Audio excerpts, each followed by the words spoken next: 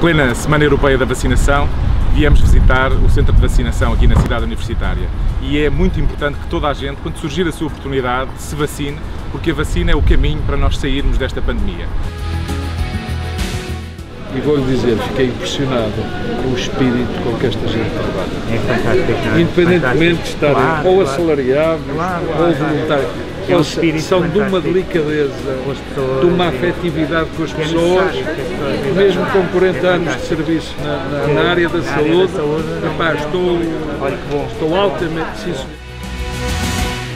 Eh, Gostei muito de ver as pessoas todas mobilizadas, com um sorriso na cara, especialmente as pessoas que são mais velhas, à espera eh, da sua vacina, que é a vacina que vai resolver esta pandemia.